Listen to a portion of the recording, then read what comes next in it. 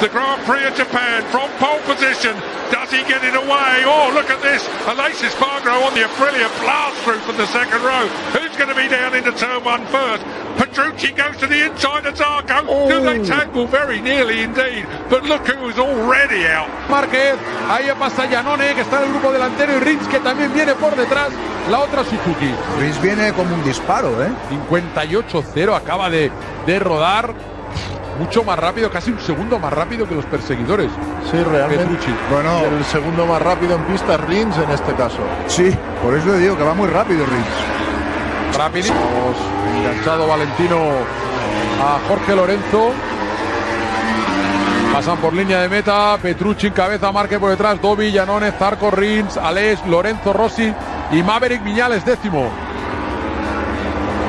Mira, mira Rossi ahí por dentro. Ven adelanta Jorge.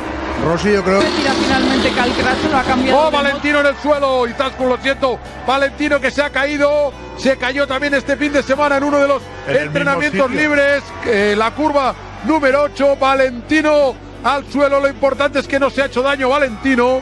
Se... y Ahora se la llevan ahí y se va cabizbajo el doctor. Son muy pocas vueltas, ¿eh? Muchas vueltas, pero quedan 18. Ya, pero bueno, evidentemente quedan muchas vueltas, pero. Solo hemos hecho un, cuarto de la carrera. La repetición de la caída de Valentino. Cae poquísimo Valentino. Aparentemente tiene mucha más velocidad. Lo ha pasado y enseguida lo, ha dejado clavado.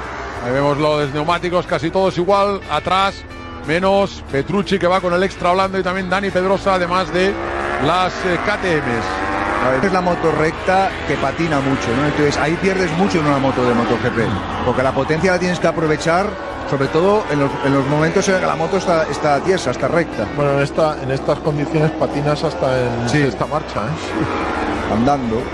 Pues ahí está el paso por línea.